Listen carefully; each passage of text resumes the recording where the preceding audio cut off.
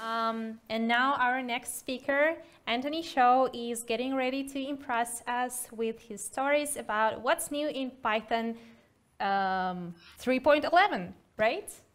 Hi, Anthony. Yes, that's right. Hi, Hello, Anthony. how are you? How are you doing? Hey, how are you both? Yeah, I'm good. It's Wait, wait, um, we- uh, just it's- a moment, we couldn't hear you. Can you say it one more time? yep. Can you hear me? How about now? Alrighty. Okay, and we still while- talking. Just a moment. The Yeah, adjustment is while- on our uh, side. Okay, so Anthony. Yeah, how now? Oh, Yeah, nice, you're with nice, finally. Okay. Okay, cool. Awesome. All right, hello. How's your mood? Hi.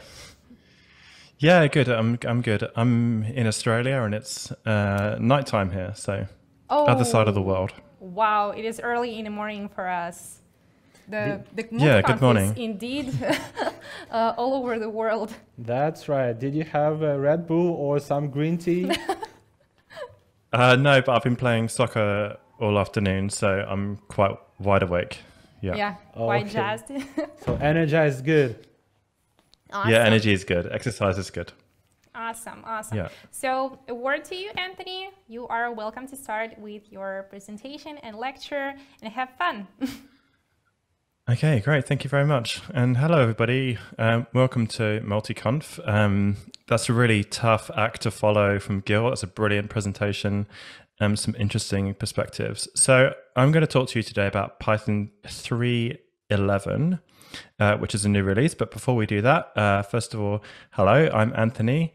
And uh, this is my website. It's tonybaloney.github.io. I've got a blog on there uh, and links to a lot of the stuff that I'm doing. Uh, you can also follow me on Twitter at Anthony PJ Shaw. Uh, I've also written a book on the Python compiler, and if you want to get a copy of this, uh, let me know. There's a paperback version and a ebook as well, um, and that covers a lot of the stuff that I talk about in uh, my talks and my presentations. Um, so before we get started, I just want to say it's a real privilege to be able to speak uh, to everybody today at this conference. Um, originally started talking about MultiConf in uh, January, I think it was, um, when it was still being discussed as an in-person conference, and I'd love to be there um, in person. Uh, it feels like we are a very long way away over here in Australia, um, but you know, I really have so much uh, sympathy and concern for everybody over there in Ukraine and everything that's been happening. Um, so really, my heart goes out to all of you, and um, yeah, it's just a pleasure to be here and a pleasure to speak to you today. But we're going to talk about Python, so that's a, a bit of a difference. Um, so if you're looking at this and thinking, okay, 311, um, where did that come from? So we're we're here at the moment. So beta 1 is the current beta version of 311 the actual release comes out in october november time this year um, so i'm going to talk to you about what's new in 311 and then what's coming in 312 313 and in future versions of python as well so at the moment, a new version of Python comes out once a year. It used to be every year and a half, but that changed uh, about two years ago. Um, so some of you maybe are running on 3.10 uh, if you're running on the bleeding edge, uh, but most people are running on 3.8 and 3.9.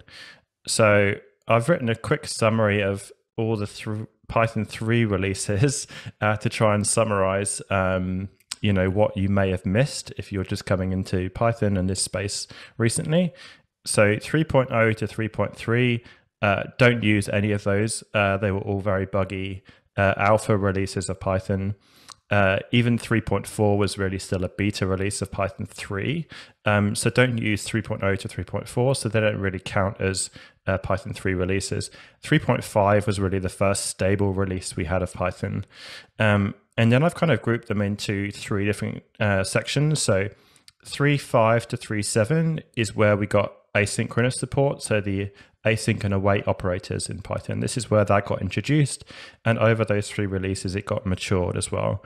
Um, 3.6 is where we got the f strings feature, the format strings, uh, which I know a lot of people really like. And then we also got type annotations, which is a theme that comes up in this talk as well uh, of things which are coming in the newer versions of Python. So type annotations were introduced in 3.6 and then have been improved um, from 3.6 all the way up to 3.10. Um, and they're still making adjustments to type annotations uh, and the typing system in general. And this is really improving, I think, the quality of a lot of the Python code, uh, being able to annotate the types.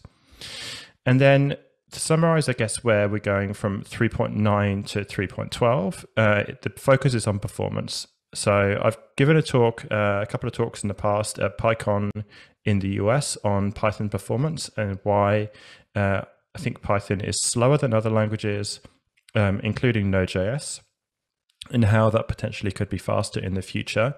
And the exciting news is that there's a team of people working on this now. So there's a team of people working on making Python faster, and we're going to start to see some of those changes coming out in 3.10, 3.11, and 3.12, and I'll talk about that as well.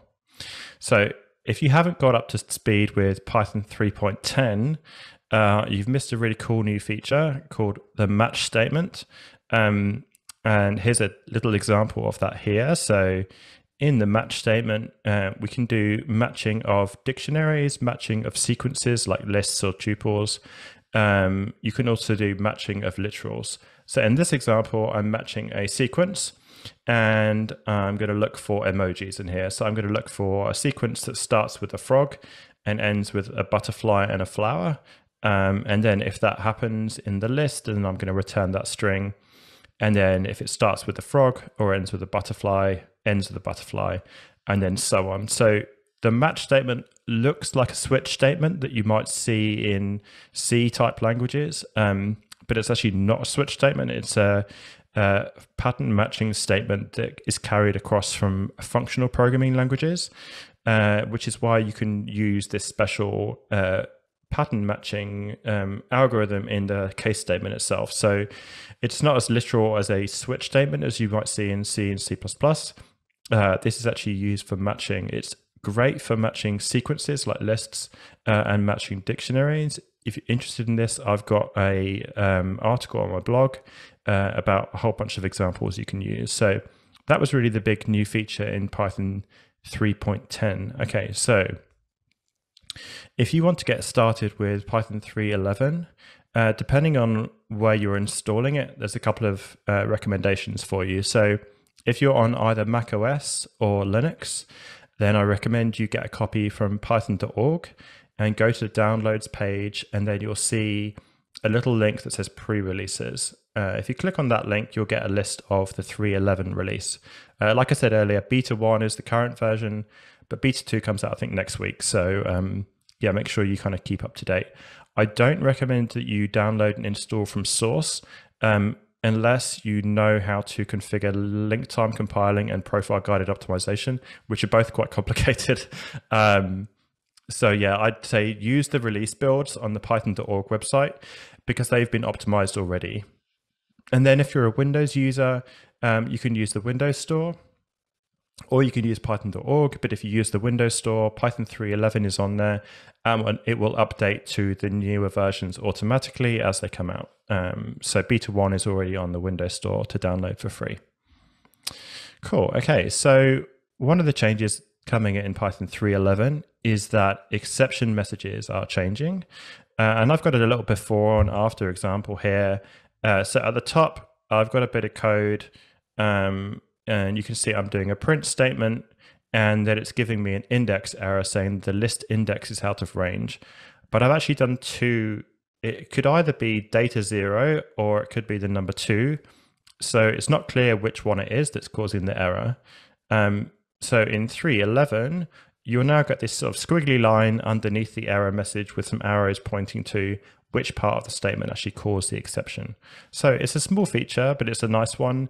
Um, I think once you've used it a few times, you get used to it and uh, it really adds a lot of usability.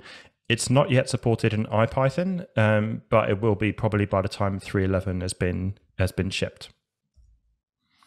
Cool. Okay. Uh, a new feature is a new type of exception that's coming called an exception group.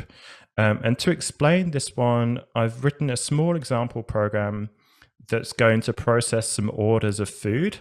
So if you see line 7 to 11, I've got uh, some orders here. So eggs and spam, ham, spinach, ricotta salad, cola, and rice. Uh, cola and rice would be a pretty interesting uh, option for lunch, but you know that's what I could think of.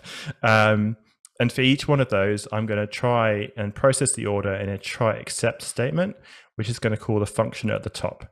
And then if there's more than two items, it's going to raise a value error. If there's less than two, it's going to raise a value error. So that's great. Um, but normally, the first time it raises an exception, the whole program stops. But I actually want to process all orders in the list. And then if there are errors in those orders, I want to see all of the errors, not just the first one.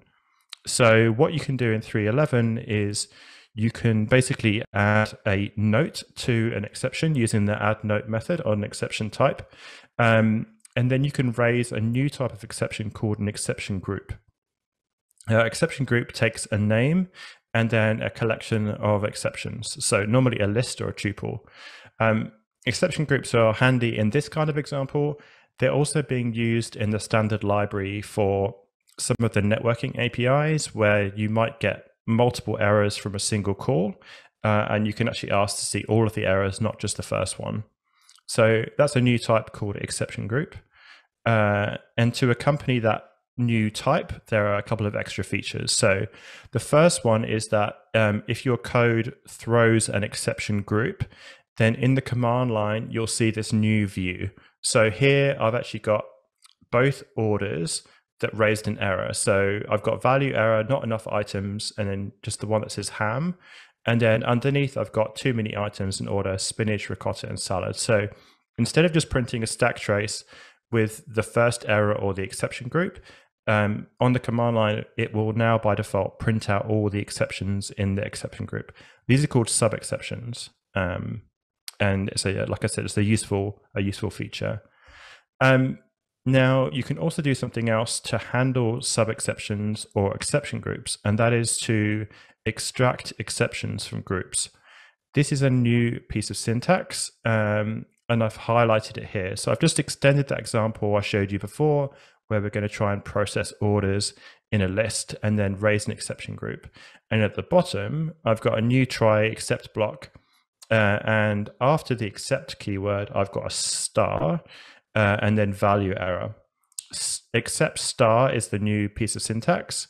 And this basically says um, if there is an exception group, then extract all value errors out of that exception group and then give them to me as the variable, uh, in this case, VE. So this is a list of exceptions. And then you can handle each one of those individually.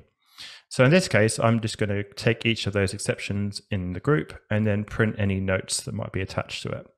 Uh, you can also use this for async IO task groups, uh, which is a new feature that I'll talk about in a second. Okay, so uh, if you've ever used async and await or async IO in Python, um, there is an API for um, running multiple tasks um, in a collection called gather, uh, which is great, but there's a few steps to set it up. Um, asyncio task group is a uh, a new type that's been added to the asyncio library. Uh, and you can see it here. So here I've got a, just an example application where I'm going to connect to multiple servers. I haven't actually implemented the connect method because it's not important to the example. Um, what is important is that we can have an async with block on line nine, and we're going to use a task group. So this is the new feature is the task group. And then with that variable tg, we can create a task and then give it a coroutine to basically add to the task group. The task group will then run all the tasks in that group within the with block. Um, and then once, it's, once they've all completed, then the with statement finishes. Now, if any of them raise an exception, um, they will get added to an exception group. So similar to what I showed you before, where you can have an exception group that has multiple exceptions, if any of those tasks raise an exception, they will be added to the exception group. So that basically means that you can have a try statement and then an except star and then extract any exceptions out of each of those tasks individually rather than having a, a group and then only seeing the first exception that gets raised. Okay, there's also a number of changes to typing in Python 3.11. Um, the first one is the introduction of a self type. Um, there is, uh, of all the typing stuff that I'm going to show you, there is a uh, backwards compatibility package on PyPI if you want to add these to Python 3.9 or 3.10. Um, but they will come out of the box in 3.11. So in this example, I've got two classes, one called person and one called admin person.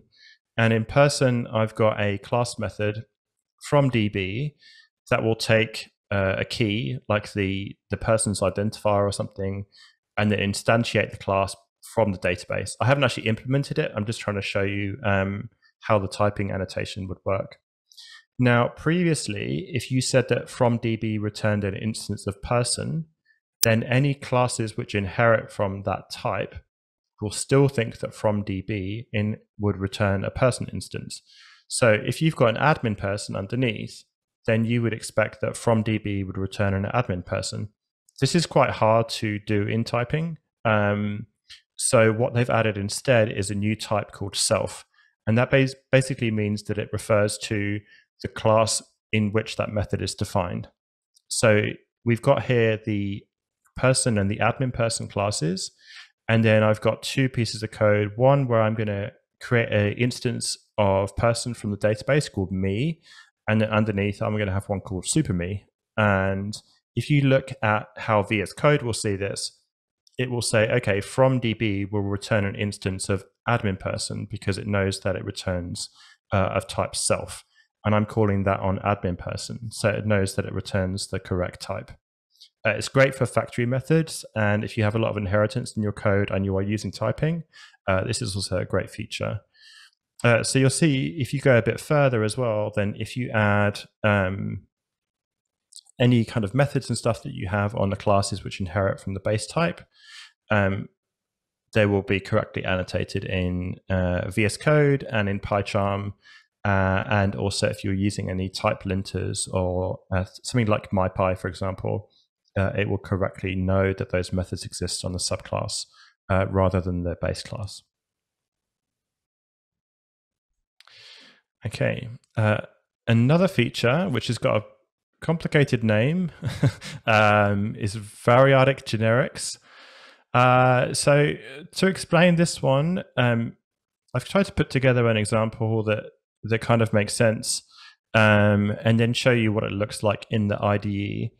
Now, whether or not you'll actually use this feature is a different debate, um, because not everybody uses a lot of typing. And then if you do use typing, um, whether or not you use generics is another topic entirely. So the concept with a generic is that you have a type variable uh, and you define a type variable at the type at the top of the um, of the module, and then you refer to that type variable in either the definition of the class, like I've done here on line six, uh, or you refer to it in um, the methods.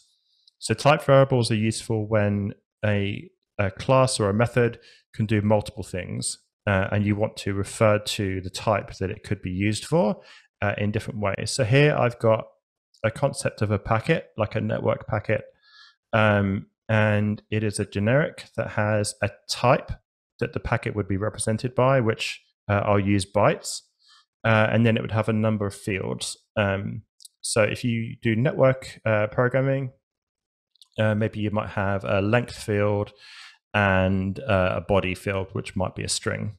So T fields here uh, is a star because it's a tuple of types. So this type packet can basically be reused for multiple types.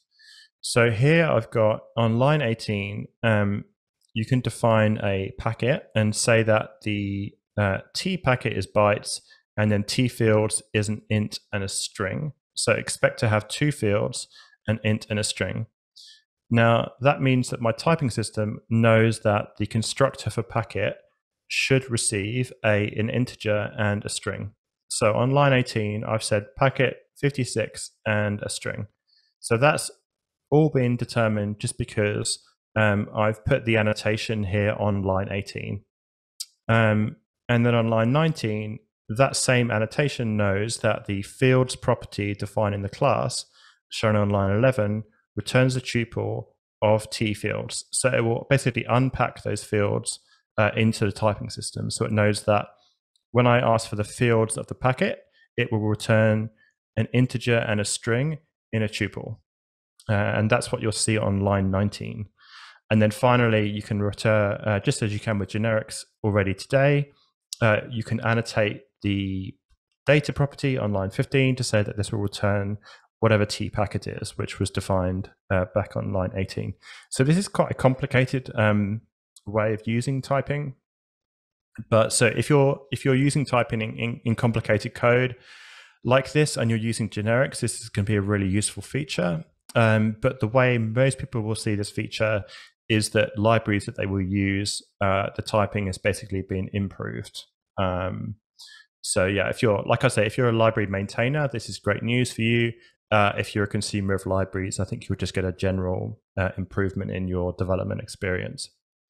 Um, so on the theme of typing, uh, there's another feature called a data class transform. So this basically allows you to implement your own versions of the data class module that comes in Python already, um, and then get native support for type checkers and IDEs this has already been implemented in libraries such as Pydantic, uh, if you use Pydantic already. And it's also been implemented in um, some ORMs and ODMs, uh, like the Django ORM. Um, so they already have this behavior. Uh, here, I'm implementing it across uh, David Beazley's minimal data class with a K library. Um, data class the rewrite of data class that Dave Beazley did um, is trying to be as small as possible so that it's more performant. The data classes that you get in Python today are great. Um, they have a lot of features, but they are really slow.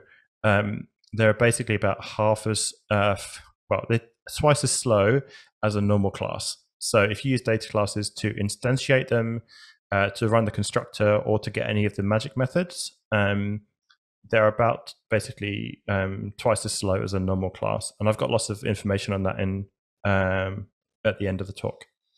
So in this example, all I've done is use Dave Beazley's data class, and then you'll see that I've defined a new class called car, and I've given it some uh, fields, make, model, engine capacity, and turbo.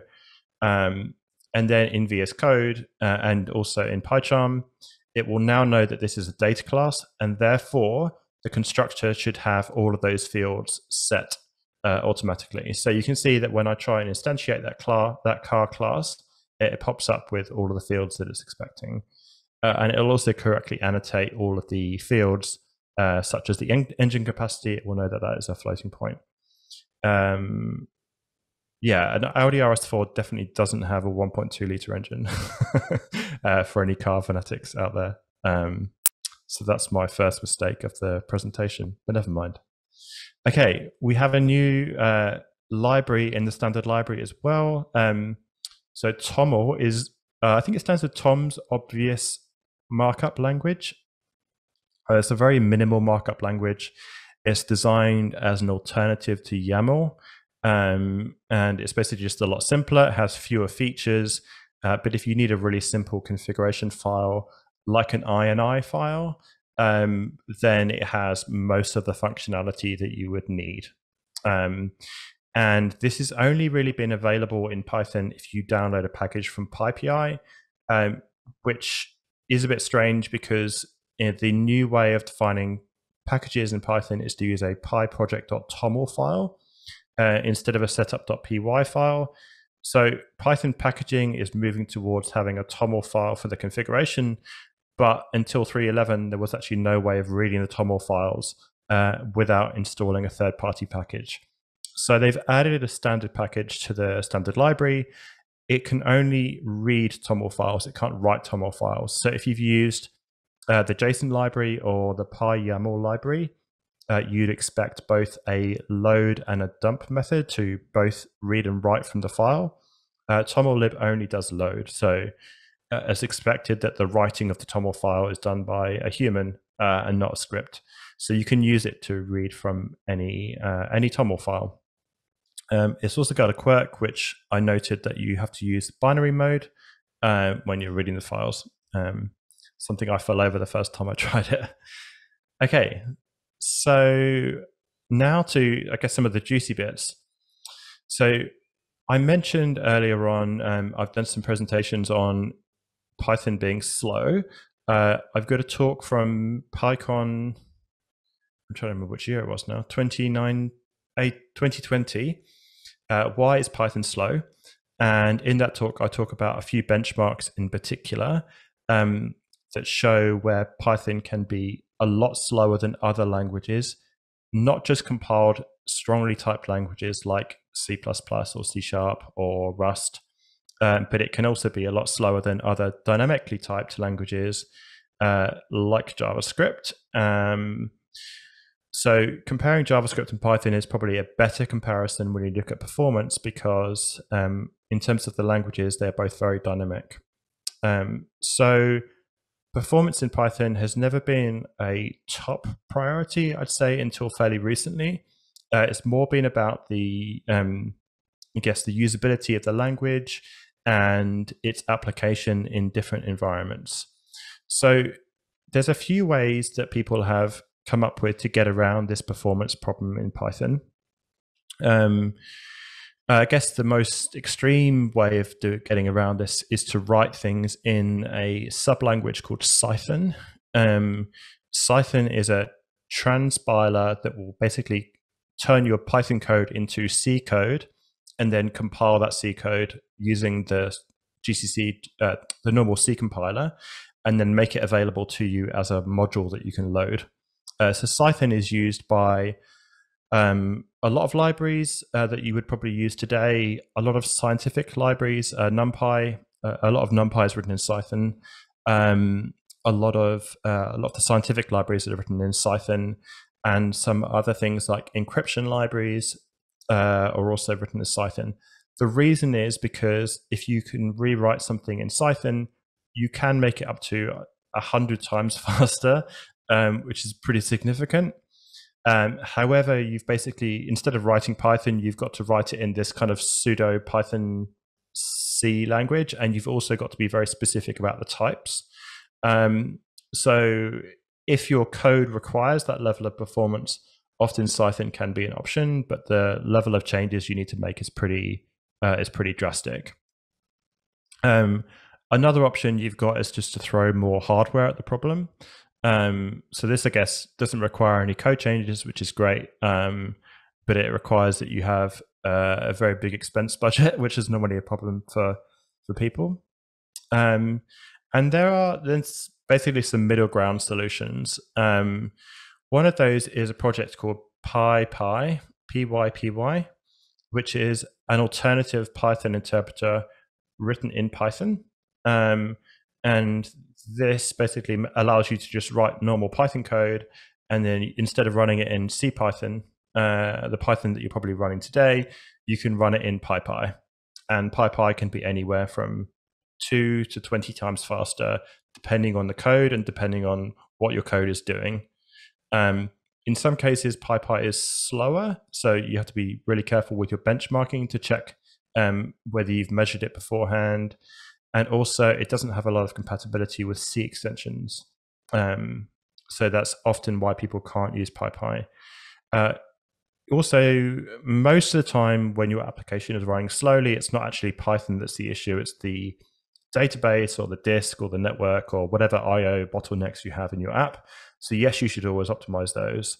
Um, and then often adding caching tiers into application will will make it faster. These aren't Python specific, but you know you should always consider this as well. Um, and then lastly, the one I want to talk about is um, minor version Python upgrades. Um, so this is where upgrading to version of Python can make a difference in how fast uh, it runs. And then I've got one more, which is to optimize your existing code, which I recommend you doing. Um, and if you're interested, I'm working on a linter at the moment called Perflint, P E R F L I N T uh, and I can provide a link to that as well. Uh, Perflint is the linter that will basically give you optimization uh, suggestions in your Python code. Uh, and I spoke about that at Python, PyCon 2022 in the US uh, only three weeks ago.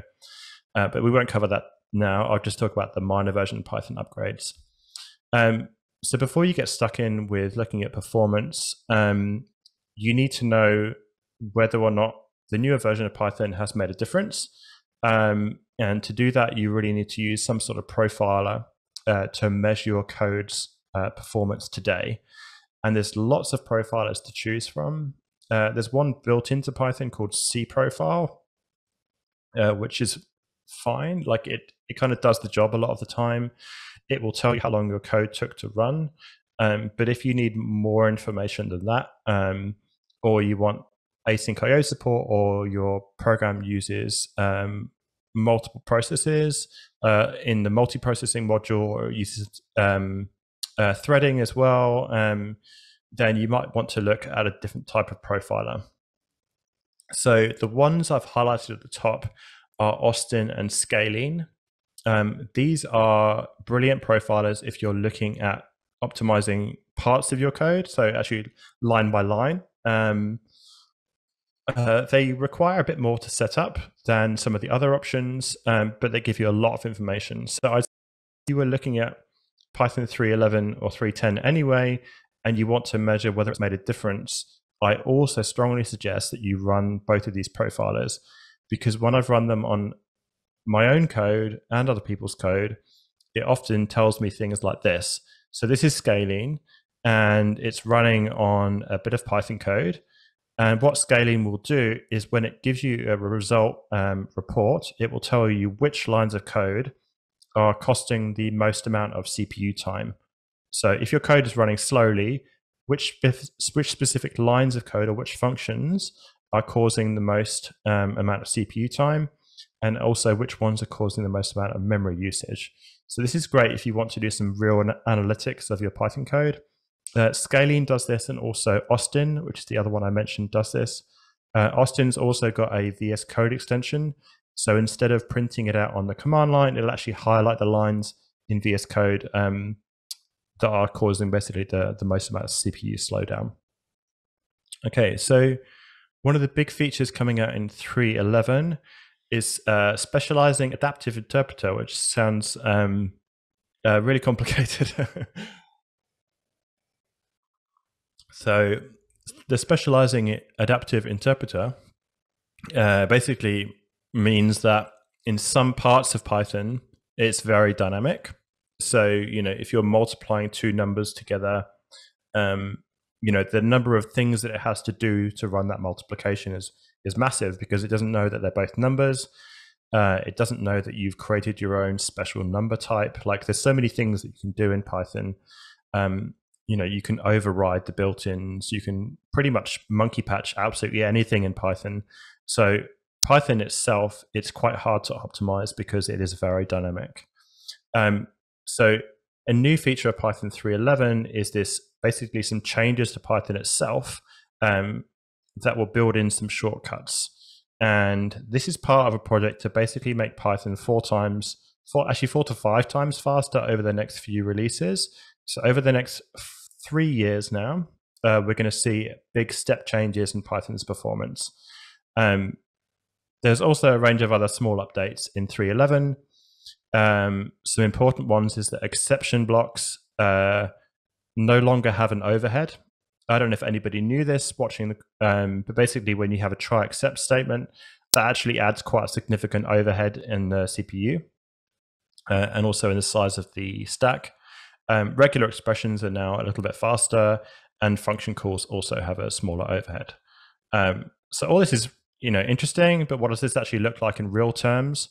Um, so I've picked up two benchmarks that I ran on my machine last night. Um, two benchmarks that are in the PyPerformance benchmark suite. Uh, there's about 30 or 40 benchmarks in that suite, I think.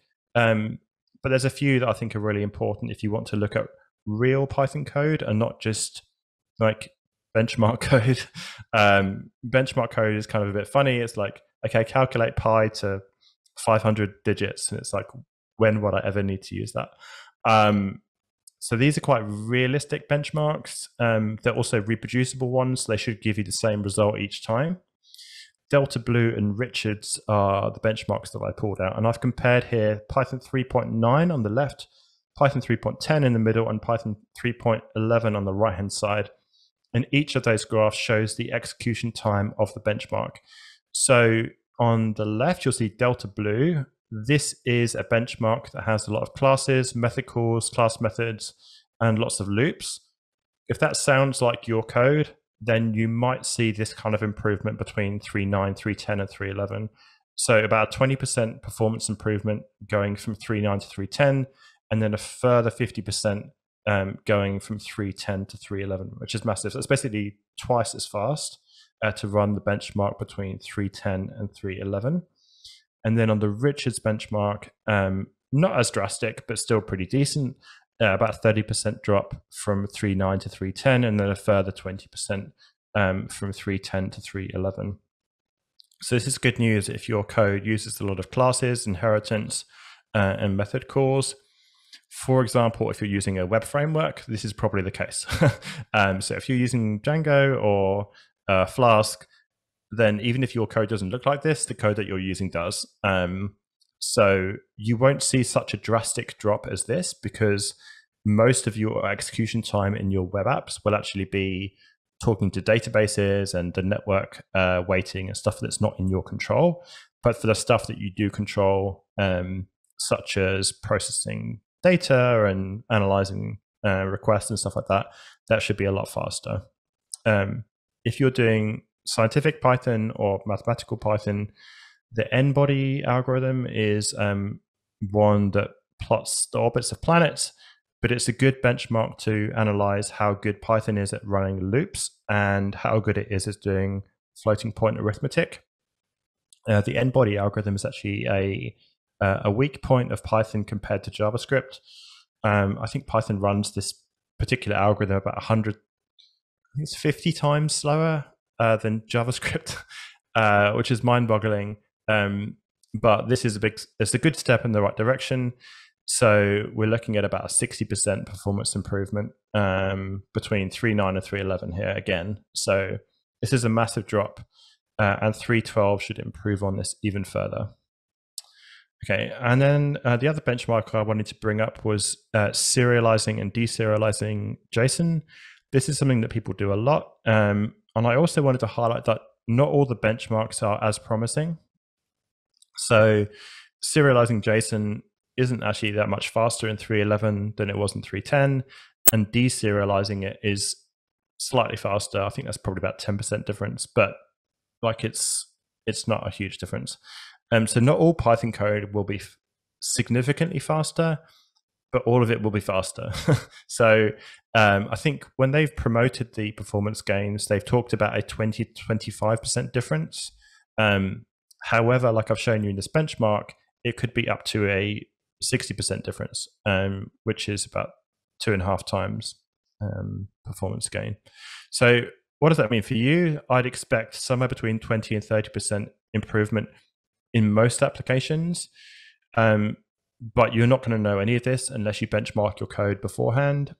If you're concerned about performance, then you should be doing this anyway because there are probably bits of your code which are causing it to slow down that you could fix uh, already today. Um, and if you're already on, if you're on three nine, um, then you're going to see a huge difference in speed going from three nine to three eleven. And this benchmarking is showing that you could actually get twice uh, two x performance difference, which is massive. Um, and yeah, we should expect even more in future versions of Python as well. So yeah, what can we expect in the future? So 311 is coming out in October. Uh, 312 is already being worked on.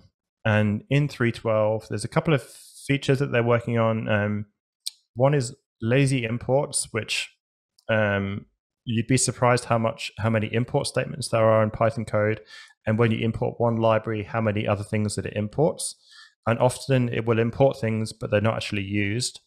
Um, so lazy imports is basically a way of optimizing that to make it more efficient, both in memory usage and in CPU time, um, so that when you import a library, it can be a lot quicker and it will only pull in imports when it needs to.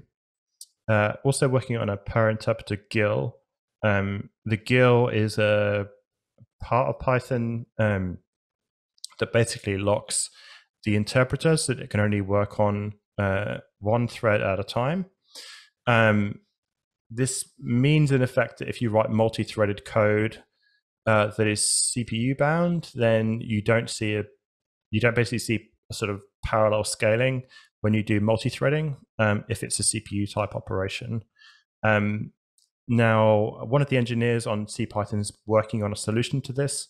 Uh, it was called the subinterpreters module, and it's now being called the per interpreter GIL. Still a work in progress.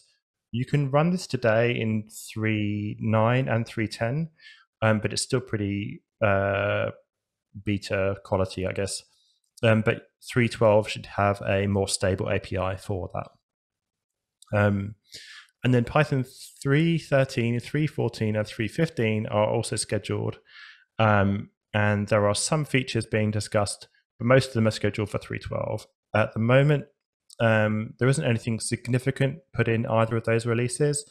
I know for sure that there will be a 3.14 release because uh, that is the first three digits of pi, uh, and they want to make that the pi release. Um, and as of yet, there is no Python 4 or a mention of Python 4 um, or a discussion about Python 4. So, yeah, if you're curious about when uh, they'll stop adding numbers to the end of three uh, and turn it into four, I don't know, um, to be honest. Um, and there's not going to be a big transition like there was between Python 2 and Python 3. Uh, they've said multiple times they're not going to do that again. Uh, so if there is a Python 4 in the future, um, it might have some breaking changes, but not the same size and scale of breaking changes that Python 3 did uh, versus Python 2. Cool. So, um, in summary, then, I say that you should start testing soon so you're ready to upgrade. Uh, you can already download Python 3.11, like I mentioned before. Um, you can get this from python.org. You can also run Python 3.11 on CI if you're running GitHub Actions or Circle CI or one of the other CI providers. Um, you can get that already. Uh, you have to put in GitHub Actions, you have to do uh, Python 3.11 dev, dev, uh, and then it will know to use the, the latest beta version. I strongly recommend that you benchmark your code um, so that when you've done the upgrade, you can test what the performance difference is. And this is also a great thing to go and tell your boss um, that, you know, this is why we should do an upgrade because it's going to make all our apps 20% faster, 50% faster. Who knows? Like it could be um, something significant. Faster code means less, um, well, less waiting, but also it often means less hardware as well. So in, in a lot of cases, that's great that it speeds up, but it means you can actually provision less hardware to run it. Um, so it should be cheaper as well. And then if you haven't already, look at the concept of gradual typing. So if I've gone through the typing stuff today and you thought, you know, typing sounds great, but I just haven't got around to it. I haven't managed to explore and adding types to all of my code would just be so time consuming and you just get yourself in a mess when you try and do that um, it's really hard to annotate code that has never had any types. Um, there's a concept called gradual typing, which is kind of self explanatory, but you add types slowly and gradually to your code. Um, and then, kind of as you kind of progress, you might find that you actually have to refactor your code to add typing. So, you know, you've got a function and it could return a tuple, uh, a list, a string, none, or a class, uh, and trying to describe that in typing is reasonably straightforward. But you know, you end up with this massive uh, annotation that says this function could return all of these things.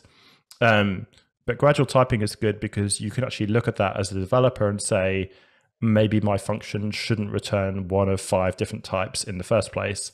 Um, and how can I refactor that to make it a bit more sensible in terms of what it returns back to the developer.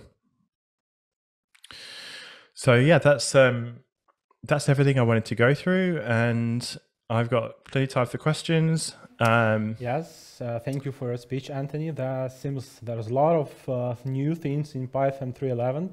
and there looks like there's more to go and lots of plans for the future. So I suppose uh, long live Python, right? Definitely. Alrighty, so should we start with the Q&A block? Yep. Awesome. So you should Sure. have questions uh, running on your phone, I suppose, right now. Yeah, okay, I can go through these. Um, okay, so what features of the new version come in handy more often than others? Uh, well, I'd say performance is probably going to be the big one. Um, that's going to be super useful to have a performance difference. Um, other than that, um, if you're using a lot of async and await, then async task groups is going to be a really good feature um, because the way that you have to do if you've tried to use the current system, it's it's just a lot of code and it's quite confusing. And then the way that you handle exceptions and stuff is a bit is a bit messy. Um, and also, I showed like the arrows underneath the error errors and how they give you more information. I think for beginners, that's like super helpful. Um, so most of the stuff I showed is like for intermediate and advanced developers. Uh, but the friendlier error messages are good for everybody. I think that's a pretty cross-cutting uh, feature. Are there any features in Python that you're still looking forward to? Um, yes, definitely. I'm looking forward to using sub-interpreters, which I refer to as a per interpreter GIL. Um, so Eric Snow is the engineer that's working on that one, and I tested it a very early version of it in 3.9 uh, and I do cover it in my book as well. Um, I think that can be once it's been developed and it's been completed properly. I think that could be a great way to have like properly uh, parallel Python code running with small overhead. So you know, my machine here has got like four cores, and it's probably hyper threaded as well. So you could easily run, you know, like forty different threads. If you're running stuff on a GPU as well, um, you know, you've got sometimes hundreds of cores. So, you know, you want to have stuff that can run in parallel. Um, so combining both the asynchronous APIs and uh, the parallelization parallelization APIs, such a hard word to say, um, will be a big big advantage. Um, how difficult is it for a beginner to transition to using Cython? Okay, so I mentioned Cython as a way that you can make your code faster. How easy is it for a beginner to learn how to do that?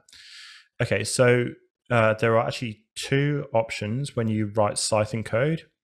You can write the special Cython syntax, or you can just use type annotations. This is a new feature, and I'd say go down that path.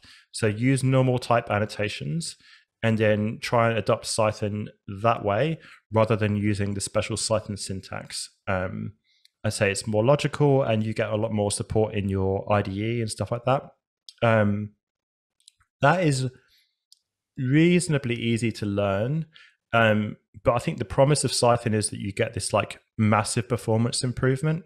Um, in reality, you only get a performance improvement when you make your types concrete. So if you say this variable is definitely an integer, this variable is definitely a float, like once you do that, then you get the performance improvement. If you just throw your current Python code at Cython, it will probably be about the same. Um, it might it might be a little bit faster, but it's not going to be massively faster. Um, Cython's great once you've done typing. Um, if your code uses a lot of classes and inheritance and things like multiple inheritance, Cython often isn't the right solution because it's not great at that. Um, it's really good for scientific stuff and code where you've got a lot of math. Um, how do you see the future of Python? In what direction will it be developed? Okay, so uh, three weeks ago at PyCon US, uh, a project by Anaconda was announced called PyScript. Uh, and this is showing Python in the browser. Um, so it's just a, uh, instead of a script tag like you'd have in HTML, it's a PyScript tag. And then you have to have one um, JavaScript file that you download and put on the page.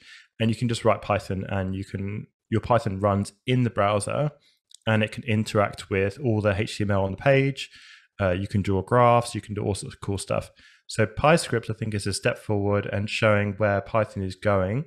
Um, excuse me. And that is into new platforms. So Python at the moment is used for data science primarily. So it's running in Jupyter notebooks. So it's running in, um, you know, all this backend code, or it's being used in web apps. So those are the two main use cases for Python: is uh, web apps and a lot of backend code, um, or data science. And Python has never really kind of taken off on the desktop. So in like the user interfaces and in the client space, and it hasn't really taken off in the web space either on the client side. So the project that Anaconda announced a couple of weeks ago, PyScript, um, which is backed by something called Pyodide, basically compiles Python down into WebAssembly and then it can run natively inside the browser, uh, which is fantastic. It's pretty early days. Um, you know, it's super beta. Uh, there's still lots of issues with it, but I think that is where Python is going: is to kind of be more accessible as a uh, web client, web language, which opens up to things like phones and tablets and devices and stuff like that, where JavaScript dominates because it's pretty much the only language that you can run inside the well basically is the only language you can run in the browser so if you're if you're writing anything uh, client side web then you have to use javascript and there there hasn't really been a choice um, but i think the way that webassembly is going then there will basically open up the possibility of writing other languages in the browser, like Python. Um, what development tools uh, do you prefer? Uh, on my blog, I've got a page dedicated to how my environment is configured. Uh, it's a bit complicated, um, which is why I had to write a whole blog post about it. Um, but that's because of what I do as a job, and I, you know, run so many different versions of Python. Uh, I use VS Code as my uh, development environment of choice. Um, I work for Microsoft, so that's you know, um, but I was using it before, um, and I've got a lot of customizations to VS Code. So it's not just standard out of the box VS Code. I've got about hundred extensions to VS Code now, I think. Um, and I'm running on a Mac. Uh, I also have a Windows machine here that I use for testing and builds. Um, you should always use a virtual environment. That was part of the question. Um, and I'd also recommend checking out um, the remote extensions in VS Code. Because if you're developing on a Mac but you're deploying onto a Linux server, um, chances are you are using some sort of container like Docker um, and basically, what this extension allows you to do is to use VS Code natively, but the actual code runs inside the Docker image. Um, so debugging works. Um, you know, all the integration features and stuff like that work as well natively. So that's um, something else I'd I'd recommend. Uh, what pitfalls may arise when switching to 3.11? Okay, so this question is, I guess, about you know what should you just go and upgrade now and then what could go wrong um, i mean at the moment it's beta so there could be bugs um, there are also things which have been deprecated so there are apis which have been uh, removed in 311 uh, there's a list of those on uh, on the release notes um, you should have had warnings in 3.9 and 3.10 if they were going to be removed in 3.11. However, uh, most people don't have warnings enabled. so, um, yeah, the problem with deprecation warnings is that most people have them switched off, so they don't actually see them in the first place. Um, so, there's a possibility that some of your code uh, could stop working because APIs have been deprecated, uh, which is why you should start testing it soon. Um, other than that, I think you'd be pretty good to go. To be honest, um, like everything you've got, uh, unless it's been deprecated, then it should just be exist the same way as today. Uh, do you think there'll be a Python 5 someday, and what functionality will it have? Uh, this is an interesting question. So, um, I think the the version scheme of Python is funny because they're kind of stuck on Python three now. Um, so it will be a Python five? Probably yes. Um, what features would I like it to have? Um, I would love a couple of things. Um, I'd love Python to be as fast as uh, JavaScript as a benchmark, um, so that people don't keep asking me why Python is slow. Um, but in most cases, it's not slow. It's just if you're involved in this uh, optimization uh, arena. Um, and the other thing I would love is for Python to be just native in the web. So, you know, from any give any week to week, I'm writing JavaScript or TypeScript and Python. And when I write a web application, I'm writing Python in the back end and JavaScript in the front end. And if I'm writing uh, like React or something like that, then I'm writing like this weird spaghetti React syntax and then some TypeScript. And it's really hard for me to switch between three different languages. I, I don't know how people do it, to be honest. Um, I start putting curly brackets in my Python code and I start putting thinking that white space is significant in my JavaScript, and it all just becomes a bit of a mess. So, what I'd love to see in the future is that I can just use Python across the board, and that is seamless and it just works uh, and it's quick. Um, and I think we're starting to see sort of like a move towards that.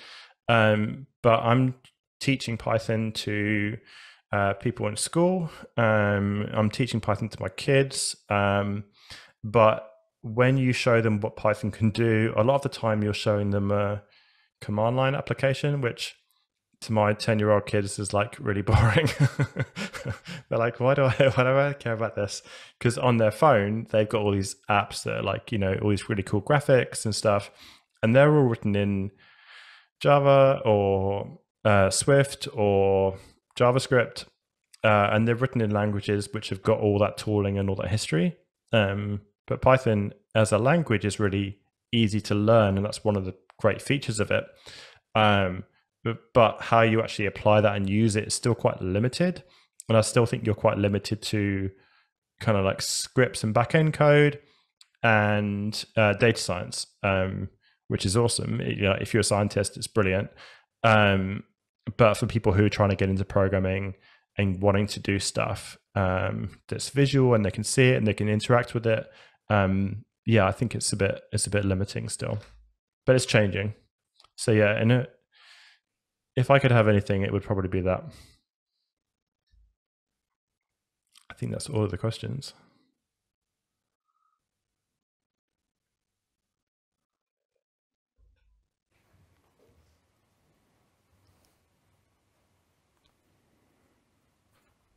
Okay. Alrighty then.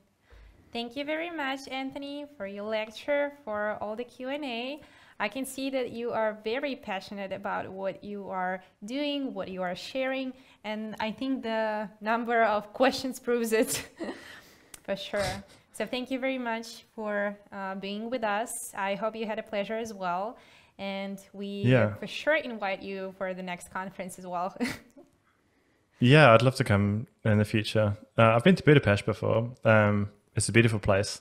Um, it is. Indeed. But yeah, I'd love to go to uh, Kharkiv or to Kiev.